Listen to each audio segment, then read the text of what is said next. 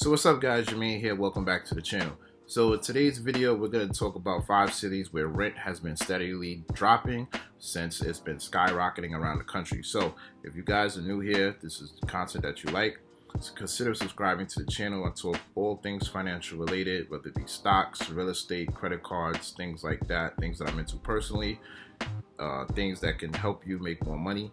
If you like stuff like that, subscribe to the channel. Greatly appreciate it. Have you along. Also, give this video a thumbs up if you find it helpful. So, some of these cities you may actually be surprised because of the parts of the country where they are in, and we've seen a lot of lot of growth in these parts of the country where uh, the great kind of migration from the northeast and over from California to certain places. But let's go through the list now and we'll talk about that. Okay, so here we are, the list where we have rent prices have dropped the most in these five U.S. cities. Uh, we have first here we have Memphis, Tennessee, where the median rent at the end of 2021 was $1,800, and at the end of 2022, we see now rent is around $1,695. So basically, we'll say like $1,700. So we see like about a $100 increase. Uh, Port St. Lucie, Florida, we see a median rent at the end of 2021 at $2,800. Median rent at the end of 2022 has dropped to 2,650. Cape Coral, Florida, Fort Myers, uh, median rent 4,000 at the end of 2021 It's pretty high. It's like pretty much Miami prices. Um, but at the end of 2022, it was around 3,795. Palm Bay, Florida, they have around 20, 2021. It was at the end of 2021, we had at 2300.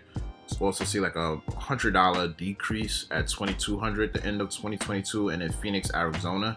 This area has been red, red hot with just like Airbnbs, uh, rentals. A lot of people have been buying in this area. Phoenix has been red hot. I know a lot of people that have actually been leaving California to go to Phoenix. But uh, the median rent at the end of 2021 was 2350 and it's only dropped 50 bucks to 2300 at the end of 2022. But one thing I wanted to point out is that you notice here from this list is three places on this list where it's actually dropped is Florida. And one thing that we did see uh, after the pandemic, or even during the pandemic, but a lot of people's leaving like my home state, New York, and going down to Florida. Some people's going down to Miami, Fort Myers, um, Orlando, but Florida's just been getting flooded. Uh, people leaving New York, and partially because of like not only just the high rents here, but also the high taxes. See, the difference is New York we have a high, you know, state income tax rate versus Florida has zero income tax rate. So you save a lot of money going down there.